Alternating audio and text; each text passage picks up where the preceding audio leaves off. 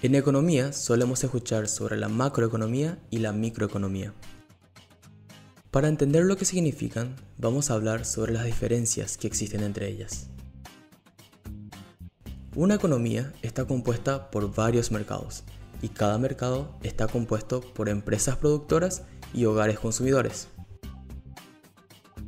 La macroeconomía estudia el comportamiento de la economía en general, como el PIB de un país el nivel de desempleo, las deudas públicas, etc.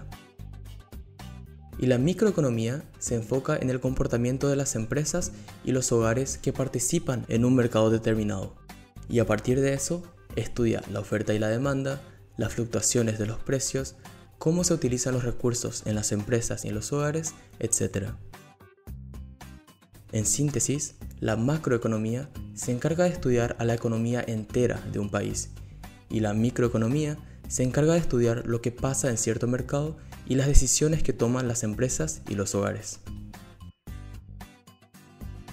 Si tomamos como ejemplo el año 2020, que fue afectado por la enfermedad contagiosa que todos conocemos, el decrecimiento del PIB, el aumento del nivel de desempleo y el aumento de las deudas públicas son temas estudiados por la macroeconomía y son las informaciones que se comparten con mayor enfoque en los periódicos, la televisión y otros medios para informarnos sobre el estado en que se encuentra el país. Por otro lado, el aumento de la demanda y del precio de los tapabocas, la disminución de la demanda de los pasajes aéreos, la disminución de los ingresos de las empresas de turismo y el aumento de los ingresos de las empresas de delivery son temas tratados por la microeconomía información que es utilizada mayormente por las empresas.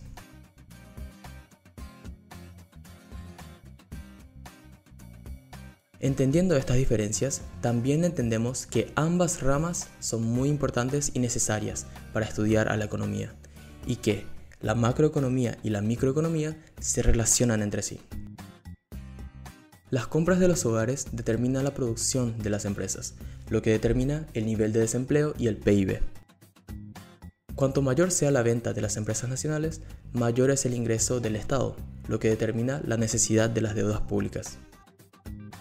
El aumento de las deudas públicas a largo plazo causa el aumento de los impuestos, lo que hace que los hogares consuman menos, las empresas ganen menos y que el desempleo aumente, y así sucesiva e infinitamente. Así es como difieren la macroeconomía y la microeconomía y cómo una se relaciona con la otra. Espero que te haya ayudado a entenderlo mejor. Si te gustaría ver videos sobre la macro y la microeconomía con mayor profundidad, déjame saber en los comentarios. Y si te gustó el video, dale me gusta y suscríbete al canal, que así nos estás ayudando muchísimo para mejorar y seguir creando contenidos. Tampoco te olvides de compartirlo en tu grupo de la universidad o del colegio. Muchas gracias y nos vemos en el próximo video.